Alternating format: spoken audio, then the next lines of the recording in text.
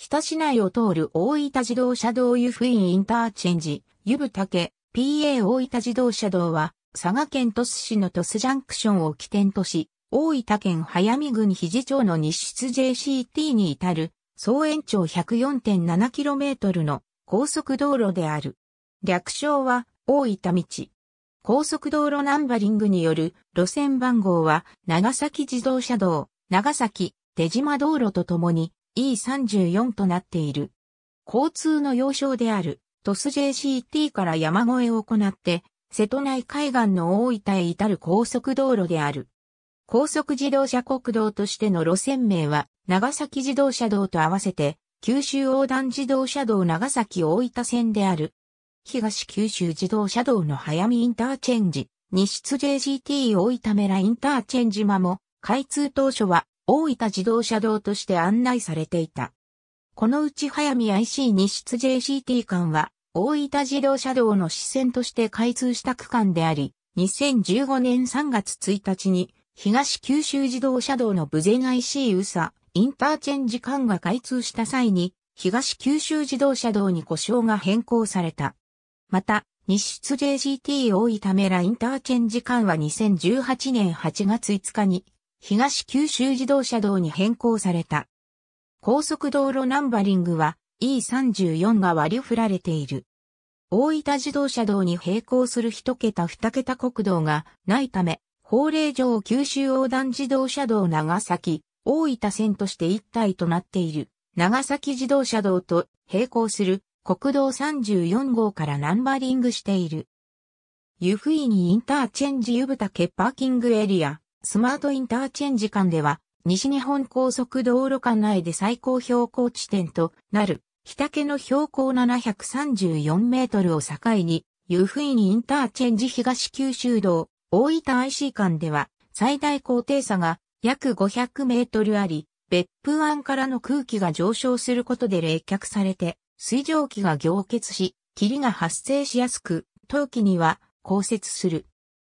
国土交通省のまとめた要因別高速道路通行止め時間では、2015年度に湯布院インターチェンジに出 JGT 間の年間通行止め時間が約357時間となり、災害、悪天候の部門で最悪となったほか、同率1位に大分県内の西津 JCT 周辺6区間、上下線の計12区間がランクインしている。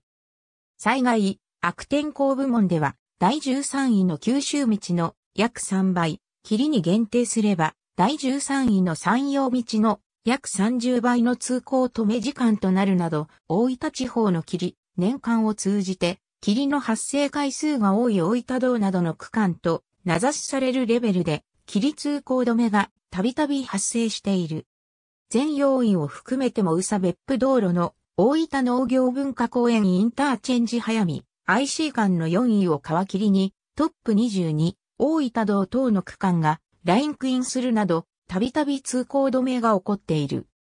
対策として、ボームネットを1999年から、早見 IC 日出 JCT 間や、日出 JCT 別府インターチェンジ間など合計約 11km に設置したものの、設置以降も設置前より通行止め時間が多くなる年もあることから、西日本高速道路はその効果は不明としている。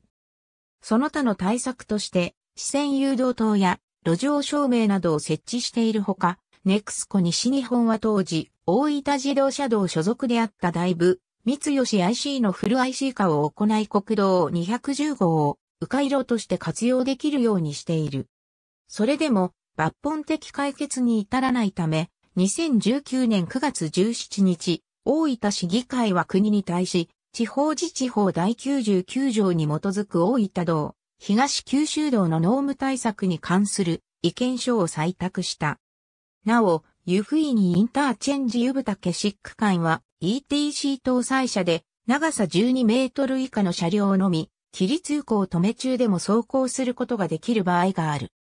下り線を走行中の場合は一度、湯布院インターチェンジで流出して料金所前の係員に、湯ケシックに向かう旨を伝え、ETC を搭載している長さ12メートルの車両であることを証明すれば走行できる。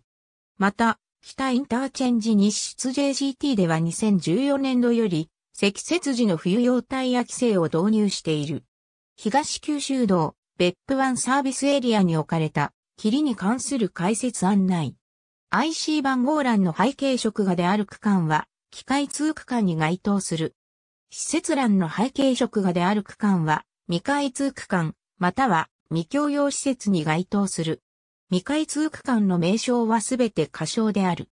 略字は JCT はジャンクション、IC はインターチェンジ、SA はサービスエリア、PA はパーキングエリアをそれぞれ示す。スマートインターチェンジは施設名欄背景色で示す。また、社会実験中のスマート IC が設置されている SA、PA は車体で示す。路線名の突起がないものは指導。バスストップのうち、丸は運用中、は休止中の施設。無印は BS なし。開通当初、大分自動車道の一部であった、早見 IC 日出 JCT 大分メラ、インターチェンジ間については、東九州自動車道を参照のこと。全通当初から2018年までの大分道の地図、対面通行であった破棄インターチェンジ、日出 JCT は時速 70km であったが、往復4車線に拡幅された後は時速 80km。大分道で売店がある休憩所はサービスエリアに限定され、売店が設置されているパーキングエリアは1箇所もない。ガソリンスタンドレストランは山田 SA にあり、24時間営業している休憩所はない。クスサービスエリアにはガソリンスタンドレストランはないが、上下線ともにコンビニエンスストアが設置されており、大分道で唯一24時間営業の店舗があるエリアとなっている。なお、2013年8月9日より山田 SA 上下線に電気自動車用の急速充電設備が各一機設置されており、これに関しては24時間稼働となっている。湯畑 PA は開設後、一度廃止されている。現在の施設は2005年に行われた周辺における車線拡幅に伴い新規に設置されたものである。2018年8月に別府湾 SA が東九州自動車道に編入された。トンネルの数2005年10月の道路公団民営化後は全区間を西日本高速道路九州支社が管理、運営している。ハイウェイラジオ24時間交通量道路交通センサスよ日部データを抜粋して作成2002年度区間別日平均交通量大分自動車道に並行する国道は国道210号、国道386号、国道500号。この内容についてはハイウェイラジオやハイウェイテレフォンでも、切り通行止め実施中に確認できる。ありがとうございます。